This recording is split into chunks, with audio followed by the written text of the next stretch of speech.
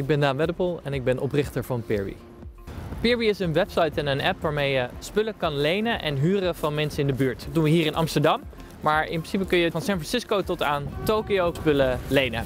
Maar Peerby is meer. Peerby is een laboratorium voor deeleconomie. Met de technologische trends die we zien, verwachten we dat er een hele grote verandering gaat plaatsvinden op het gebied van uh, de schaarste van goederen. We moeten toe naar een circulaire, uh, duurzame economie. En wij zijn aan het ontdekken hoe we door middel van deeleconomie dat mogelijk kunnen maken. Hoe de toekomst van de dienstverlening er precies uit gaat zien, dat weet niemand. Maar wat we wel weten is dat er heel erg veel gaat veranderen.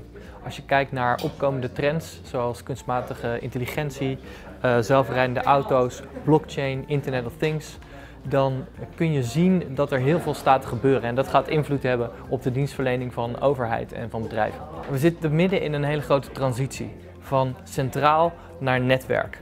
Vroeger kocht ik in een cd-winkel een zilveren schijfje voor 40 gulden. Nu heb ik voor uh, bijna niks altijd overal toegang tot alle muziek die er is. Er ontstaan dus hele nieuwe modellen van schaarste. Nou, er zijn een heleboel trends die we al kunnen zien aankomen, die nu al aan de hand zijn en die een grote invloed gaan hebben op uh, de toekomst van ons leven en de toekomst van dienstverlening. En door je, uh, eigenlijk je ideeën en je visie te toetsen aan die, aan die toekomst, kun je richting bepalen. En om, om voor te blijven en om bij te blijven, is door constant te innoveren, door constant te proberen, te experimenteren en je dienstverlening aan te passen aan het moment. Eh, ik heb de indruk dat de overheid altijd probeert om iets in één keer eh, perfect te doen. En daar geloven wij eigenlijk niet zo in.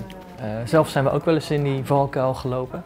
Uh, toen we net begonnen zeiden mensen dat we toch absoluut een verzekering nodig hadden voor als er schade zou zijn aan spullen. Nou, dat zijn we gaan opzetten. Het heeft al twee jaar geduurd. Het was heel veel juridisch, financieel en, en organisatorisch uitzoekwerk. Maar toen de verzekering eenmaal klaar was, ontdekten we dat we eigenlijk net zo makkelijk uh, gewoon wat geld apart konden zetten van iedere transactie en daarvan schades betalen. Want het percentage schades was eigenlijk zo laag dat al dat gedoe helemaal niet nodig was. Dus je kan, wat mij betreft, eerst beter toetsen aan de realiteit en kijken wat er fout gaat. Uh, in plaats van dat je van tevoren probeert om op alles voorbereid te zijn. Zoals ik al zei, werken we niet met perfecte oplossingen. Daar geloven we niet in. Maar hoe werken we dan wel? We werken met drie basisprincipes. Uh, we zijn op zoek naar werkbare oplossingen. Uh, we werken met tensions uh, en alles kan altijd veranderen. Een workable solution wil zeggen niet de, perfecte oplossing, niet een oplossing waar iedereen het per se mee akkoord is of waar je niks op kan aanmerken, maar een oplossing die in ieder geval het werk van anderen niet onmogelijk maakt. Vervolgens gaan we kijken op basis van tensions, spanningen, wat kan er beter of wat gaat er niet goed en dan doen we een kleine aanpassing. En ook die kleine aanpassing, die moet werkbaar zijn. Hoeft niet perfect te zijn, want die gaan we proberen. En als die niet bevalt, dan kan die altijd weer veranderen. En kunnen we met nieuwe tensions weer opnieuw uh, bijsturen. En zo komen we langzaam maar zeker tot een hele goede oplossing.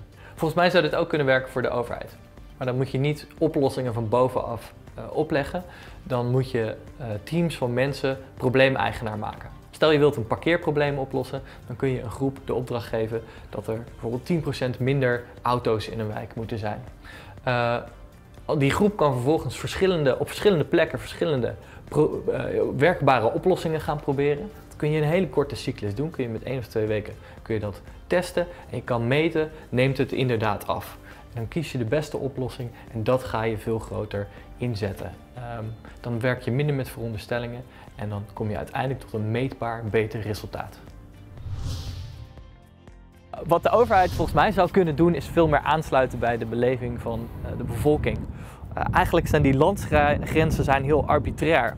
Uh, we gaan steeds meer toe naar een wereld die ofwel heel globaal ofwel heel lokaal is. Uh, en, en, daar moet je je volgens mij bij aansluiten. Een Amsterdammer heeft meer gemeen met iemand in Kopenhagen waarschijnlijk dan met iemand in Oost-Groningen. Dus je moet voor die mensen maatwerkoplossingen maken, zowel in Groningen als in Amsterdam. Uh, en aansluiten en, en, op zoek gaan naar, naar, eigenlijk naar bottom-up initiatieven. Uh, niet het, het middel uh, subsidiëren, maar op zoek gaan naar mensen, met mensen naar echt naar wat de oplossing is die ze nodig hebben. Wat de overheid volgens mij kan leren van het bedrijfsleven is om het eigenlijk allemaal veel makkelijker te maken. Kijk naar, eens naar het verschil tussen DigiD en de Facebook-login. Als Als je echt wil aansluiten bij waar uh, mensen op zitten te wachten, ja, dan moet het veel meer toe naar gemak en naar de manier waarop uh, Facebook dat oplost, dan naar de complexiteit van DigiD. Wat ik zou aanraden is, kijk naar de trends.